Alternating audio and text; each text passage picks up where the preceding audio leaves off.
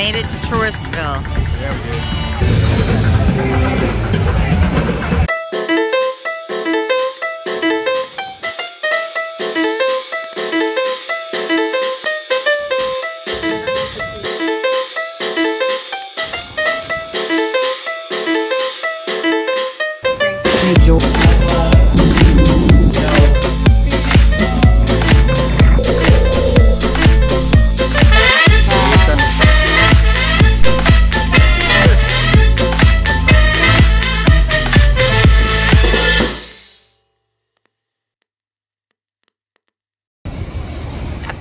Back to the hotel because it was just too hot to do to even figure out like public tra- transportation, which I guess is what the trolleys are. I just thought they were kitschy and cute, but people just use them like public transportation. Speaking of, but now my husband is working. He's on a work call. You know, work life is still part of things. Sigh, sigh. But uh, saving up for the boat requires it. So we work hard, we play hard. Well, we work medium, we play medium. time. Uh, and we can see when they come through, but we can't see what happens after the fact. So we need to make sure that you guys, you know, just just put in a little notes, especially if they're successful, because that means that we're going to continue that campaign or pour money, more money in that campaign. Or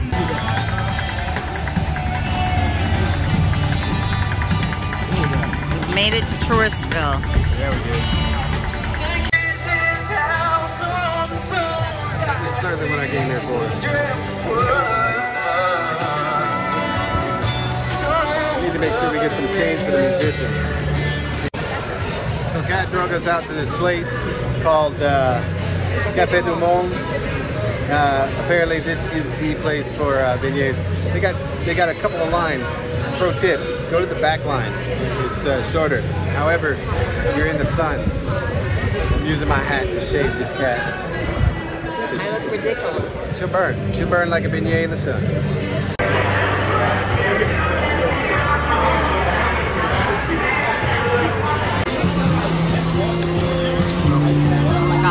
So much powdered sugar.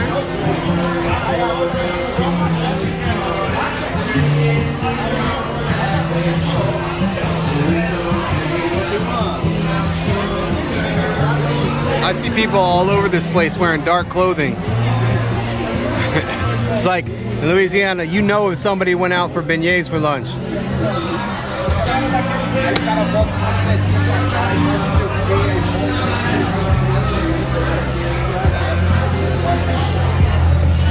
This is my wife sitting naked at a restaurant eating eating beignets. Oh.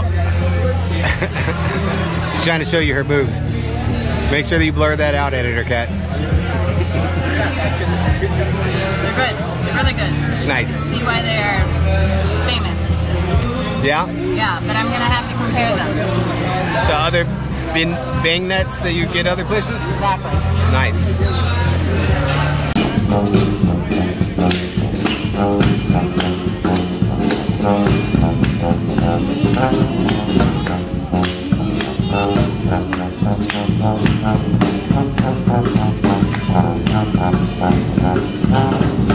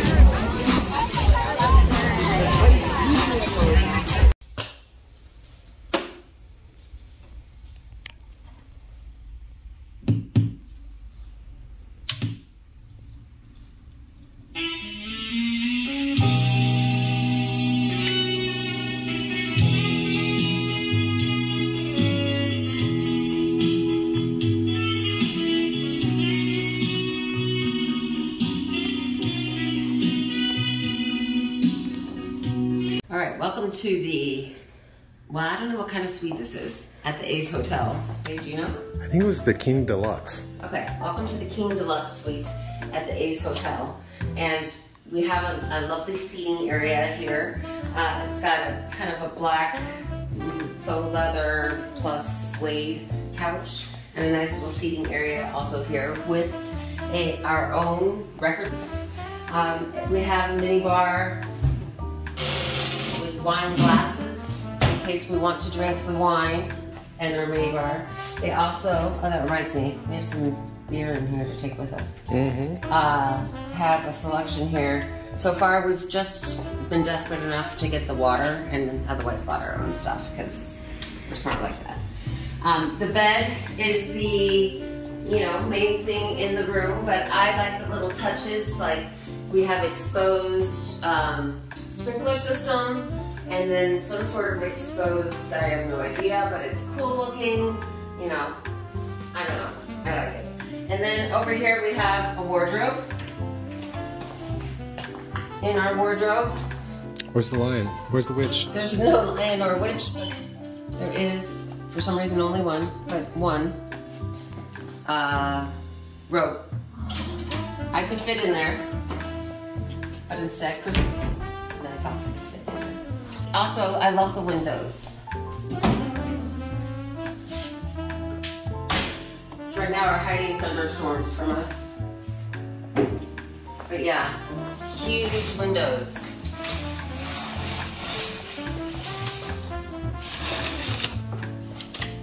Yeah. Fun. It's a great place. I've, I've really enjoyed my stay here.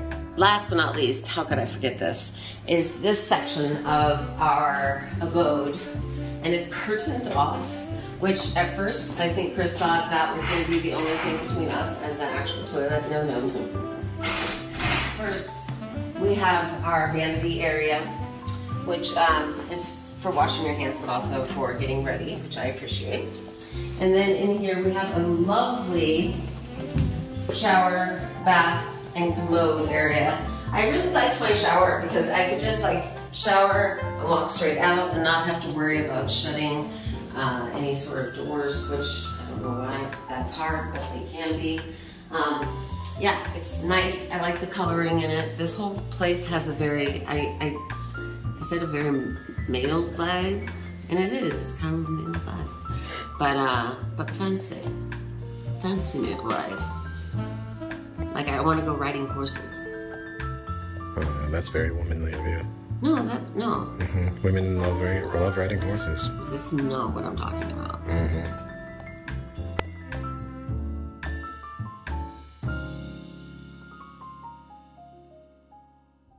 All right, so today, Today, it is the first day of our NOLA trip. yeah, and how has it been?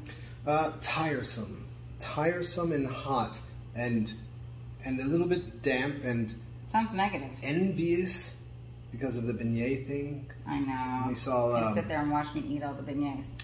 You know, no, I'm just kidding. Uh, it's been uh, it's been tired because you know we red-eyed here, and uh, I'm not saying that was a mistake by any means. Uh, we're taking a full advantage of the time. However, I gotta say, I'm not in my 20s. I'm feeling this. I have to say, I am in my 20s, apparently, because I feel fine. Um, granted, that has come with quite a bit of coffee with extra shots and uh, some alcoholic drink of some sort that I feel like maybe have contributed to helping um, how I feel. Uh, it has been extremely hot. We did do most of our walking and yeah, just being active in the morning, which I think was super helpful and smart. Tip to future come in Juners, which who does that, but apparently we do. Here's what I wonder. One of the things we did was apparently go to the French Quarter on accident, and that's where Cafe Du Monde was. Um, it was a long line. The beignets were delicious, but I want to try them somewhere else because it felt really touristy, and I want to see if they're as good somewhere else without the touristy aspect. Everywhere we went, I kept running into plaques and finding out more and more about it. Like we found uh, the place where um, Spain originally handed over Louisiana to the French, and then the same place where the French handed over to the United States. Um, we saw where the one of the founders of New Orleans used to live. Um, you know, just everywhere you go, there's all these things that kind of really describe the historical nature of where they're at. Honestly, I, there's this history everywhere. I would love that if that was where I lived. You know, if I lived in a place where, like, you know, we have a hundred year old bridge right next to us, like, then yes, it goes, yeah, these people were the ones that like made this happen. Why? For what? What was around there? I would love more information, like, everywhere. You know, tell me what on this place. Nothing happened. Um, you know, I just don't think um, hanging out as a vampire in New Orleans is the same as it was in like the seventies. You know, things have changed. I quite a bit. agree. Poor Yeah. vampires. Yeah, you you got to worry about uh, a lot more gun crime apparently. You know, and if you're I've a seen no guns. I've seen no guns either. But this, you know, when I kept on looking at YouTube, they're like, oh, there's. But of course, that's everywhere now.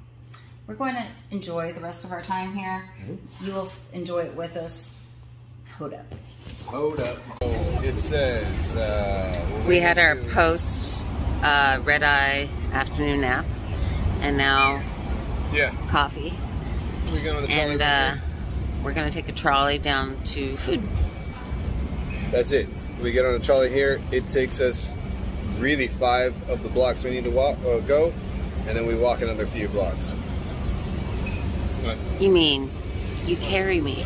Because when there was only one set of footprints, You gave up, and I had to drag you. You saw the footprints, and you saw two little lines. That was that was two cat heels, just being like,